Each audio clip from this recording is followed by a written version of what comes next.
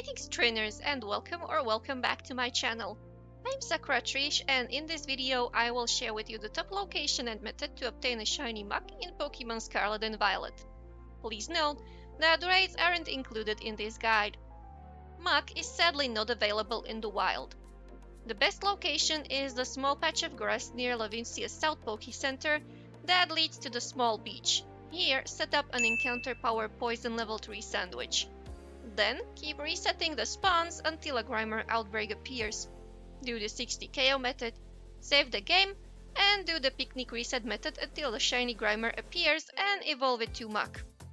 You can find held items and vitamins at Levincia's Delibird Presents and Chansey Supply. To change the Tera typing, visit the Treasure Eatery at Medali.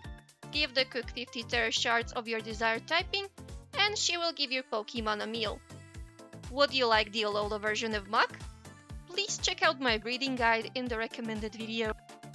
If you found this video helpful, show your support by liking, sharing, commenting and subscribing. Thank you for watching.